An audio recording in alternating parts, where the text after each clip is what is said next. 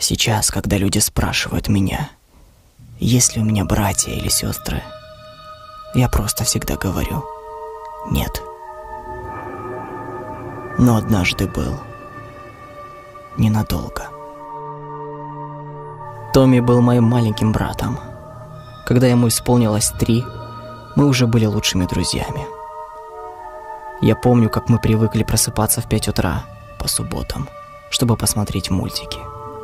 И поднимали такую суету, что мама и папа выгоняли нас из дому.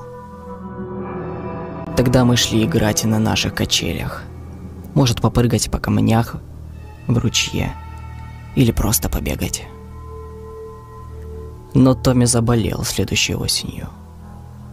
Это не было смертельно, просто простуда, считали мы. Мои родители ничего не делали насчет этого. Они просто полагали, что все пройдет своим путем. Бедный ребенок. Высмаркивал пакет с половиной салфеток в день. Но это не помогло ему. Он чихал каждую минуту, размазывая повсюду сопли, и я бы не проводил много времени рядом с ним, если родители меня не заставляли. Так мы и оказались в гараже в тот день. Мы вышли, чтобы побегать, но из-за простуды Томми устал за несколько минут. Мы возвращались внутрь, когда он чихнул на меня. Назовите это его последней соломинкой. Вдруг он начал кричать о его простуде, и как ему надоело чихать на все и на вся. Он снова чихнул на меня, и вот тогда он взъярился. На стене висели инструменты моего отца. Томми протянул руку и схватил молоток. Он ударил им себя по лицу четыре или пять раз. Удар, удар, удар, пока он не упал. Затем он снова ударил себя.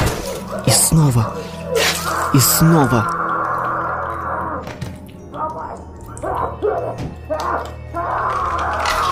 Из-за шока я стоял как вкопанный. Я не мог поверить в то, что только что произошло. Когда я вышел из транса, я пошел, чтобы помочь Томе, но остановился, когда подошел ближе к нему. Его нос был разбит, вместе с зубами и верхней частью его лица. Его череп был полностью раскромсан.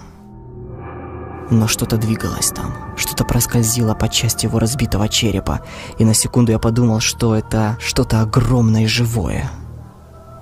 И в некотором смысле так оно и было. Это был слизняк. Первый из немногих, которые жили в его носовой полости. Все они вырабатывали слизь. Это то, что заставило его так много мучаться, что заставило его так много чихать. Из-за того, как это произошло, я думаю, что мои родители сказали всем, что Томми умер в результате несчастного случая. Мои друзья из школы не купились на это. Поэтому, когда они спросили меня, как Томми действительно умер, я сказал им то же самое, что и сказал копам. То дерьмо, что я только что рассказал вам. Но это не так, как Томми действительно умер. Видите ли, Томми не мог добраться до молотка папы.